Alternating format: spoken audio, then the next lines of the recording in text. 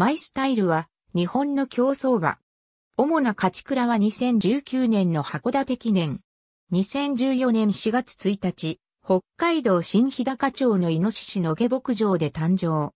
同牧場は後に主戦騎手となる田中勝春の実家、田中晴美牧場の隣に所在する。牧場時代はやんちゃな気象が目立っていた。立東、今三ぐ厩舎に入厩。2016年11月にデビューし、翌月のデビュー2戦目で初勝利を挙げる。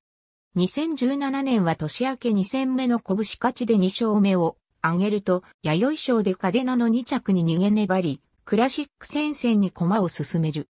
皐月賞は16着だったが、東京優春では逃げて1000メートル通過63秒2の超スローペースに持ち込み、直線でも見せ場を作って4着に入った。秋は神戸新聞杯7着をステップに、菊花賞に出走したが、極度の不良馬場で逃げつぶれて、大差の最下位に沈んだ。2018年には一時1000万下まで高級したが、函館開催で条件戦を連投で2連勝し、オープンに復帰する。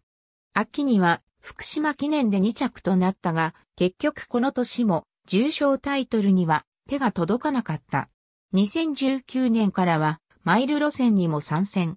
京都金杯で2着、ダービー今日チャレンジトロフィーでもタイム差なしの3着と前線を続けた。夏場は2年連続で北海道開催に参戦。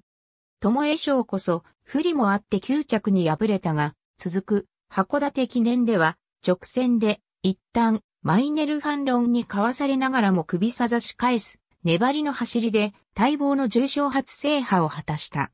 安城の田中和春は、節目の重賞50勝目となった。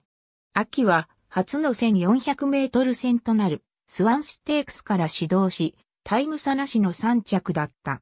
菊花賞以来、約2年ぶりの G1 出走となったマイルチャンピオンシップでは押し出されるように鼻に立つと、最後までしぶとく粘り、10番人気ながら4着に入った。